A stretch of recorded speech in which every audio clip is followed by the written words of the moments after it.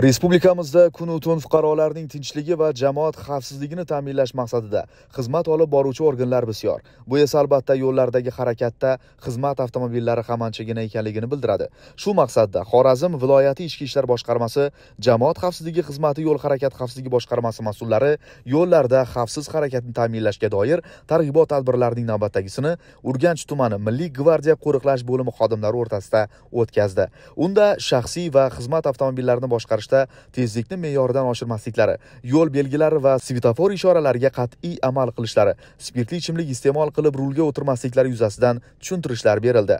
Qolaversa transport vositalarining texnik soz holatda ekanligini doimiy nazoratda saqlashlari zarurligi alohida ta'kidlandi. Shuningdek tadbirda xodimlarga eski namunadagi haydovchilik guvohnomalarini o'zgartirish muddati bo'yicha ma'lumot berildi. O'z vaqtida yangi namunadagi haydovchilik guvohnomasini olishlari so'raldi. Targ'ibot yakunida ishtirokchilarni yanada ogohlikka chaqirish maqsadida viloyat hududida sodir etilgan yo'l transport hodisalari aks etgan videoroliklar namoyish qilinib mazkur tadbirda olgan ma'lumotlarni boshqa savdoshlari hamda oila a'zolariga yaqinlariga yetkazish orqali yo'l harakati qoidalariga amal qilinishini ta'minlashda ko'makdosh bo'lishlari sodir etilishi mumkin bo'lgan yo'l transport hodisalarining oldini olishga xizmat qilishi tushuntirildi.